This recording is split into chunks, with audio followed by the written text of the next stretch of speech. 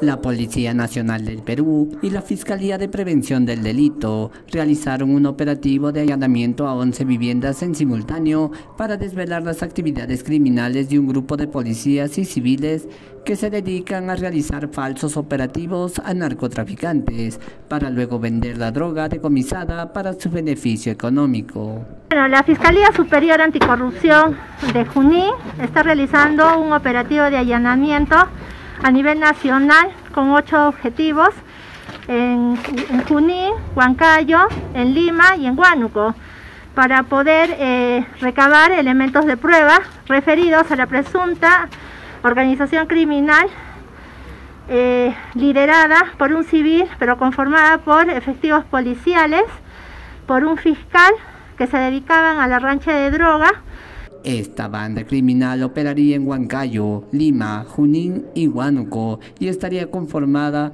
por un civil que sería el líder, un fiscal y seis policías.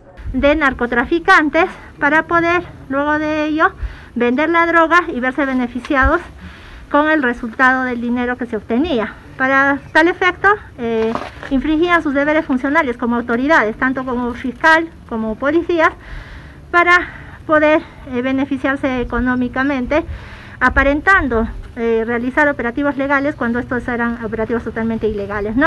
Se está ejecutando en este inmueble, si se ha encontrado droga, estamos a la espera de la unidad especializada de la de Ivandro para que pueda hacer el pesaje y el descarte de la misma y en función de ello determinar lo que corresponde.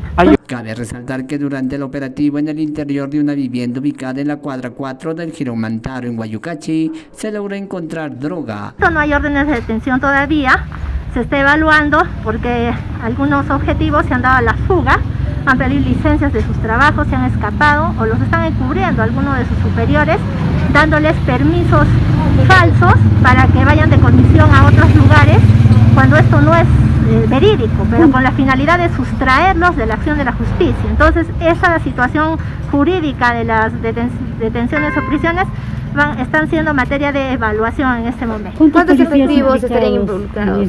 Eh, dentro de este caso estamos hablando de eh, seis efectivos policiales, un fiscal y un, civil. ¿Las órdenes de allanamientos para cuántas viviendas? ¿A quién correspondería, por, efectivo No, esto, eso está en materia de investigación, pero eh, de acuerdo a los avances de las investigaciones estaría eh, teniendo como información que pertenecería a uno de los integrantes de esta presunta organización criminal. ¿la orden para cuántos inmuebles de allanamiento es?